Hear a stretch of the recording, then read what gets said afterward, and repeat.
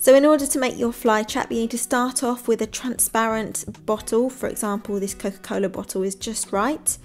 Pierce it with a nail and then cut around so you've just got the top bit off and then what we need to do is we need to trim this down a little bit just so the top can fit that way into it. Sometimes you don't need to trim it, sometimes you do.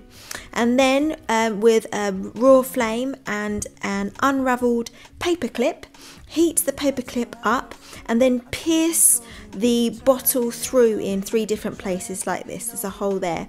Thread your paperclip through just one of the holes and then if you take the lid off the Coca-Cola bottle, uh, put it to the side and drill through it. You need an 8mm gap in order for the flies to get through. Um, it needs to be a black lid so that the flies uh, can see the light and they will go towards the light and then fall into the Coca-Cola bottle trap. And then what we do is we've got some rabbit head, we've got some liver here.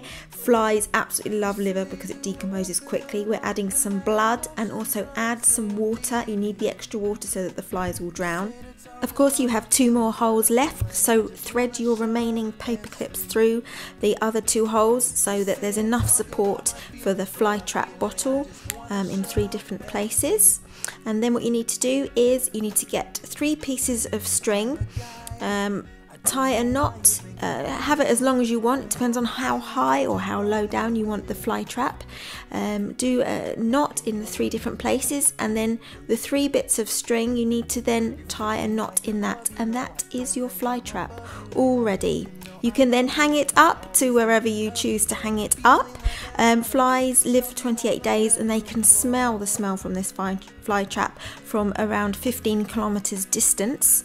Um, it does take between two to three days to start to kick off and for it to start to attract the flies.